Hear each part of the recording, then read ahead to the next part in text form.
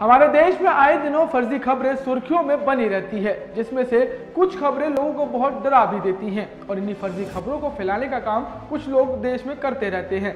देश में सबसे ज़्यादा फर्जी खबरें सोशल मीडिया से फैलाई जाती हैं और यही फर्जी खबरें आगे जाकर दंगों का कारण बनती हैं। इसी कड़ी में एक फर्जी खबर का मामला हरियाणा के गुरुग्राम से सामने आया है, जहाँ के जाने माने अस्पताल में बम होने की खबर से दहशत का माहौल बन गया। तो चलिए आपको बताते हैं कि आखिर पूरा मामला क्या है? नमस्कार मैं सुमित और आप देख रहे हैं मीडिया दरबार। स्थानीय मेदांता अस्पताल में गुरुवार दोपहर बारह बजकर पंद्रह मिनट पर एक व्यक्ति ने फ़ोन कॉल कर बम होने की फर्जी सूचना दी। इसकी सूचना मिलते ही अस्पताल में हड़कम मच गया, जिसके बाद सुरक्षा एजेंसियों ने मौके पर बम निरोधक दस्ते को बुलाया।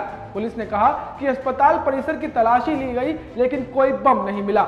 आपको बता दें कि पुलिस ने बताया है कि मैदानता द मेडिसिटी अस्पताल के चिकित्सीय निदेशक डॉक्टर संजीव गुप्ता द्वारा दर्ज कराई गई शिकायत के आधार पर एक एफआईआर दर्ज की गई है।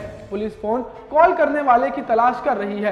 पुलिस ने इस संबंध में आगे बताया कि शिकायत के अनुसार फर्जी कॉल के कारण अस्पताल में डर और अफरा तफरी का माहौल पैदा हो गया था। पुलिस ने फ़ोन नंबर को सर्विलांस पर रखा है। डॉक्टर गुप्ता ने बताया है कि कॉल करने वाले ने कहा कि अस्पताल में आतंकी हमला हो सकता है और वहाँ एक बम रखा गया है। इसके बाद कॉल करने वाले ने फ़ोन काट दिया। उन्होंने आगे कहा कि कॉल के कारण अस्पताल में दहशत की स्थिति पैदा हो गई। जिसकी वजह से काम पूरी तरह से अस्त व्यस्त हो गया।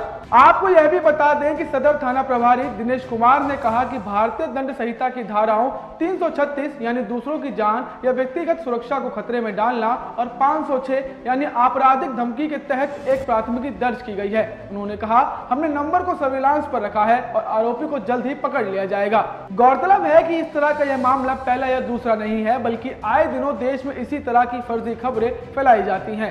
देश के प्रशासन को इस तरह की खबरों को लेकर अपना सख्त और कड़ा रुख अपनाना चाहिए, ताकि इस तरह की खबरें फैलाने वाले लोगों में कानून को लेकर एक डर हो और वह इस तरह के मामलों में कमी देखने को मिल सके।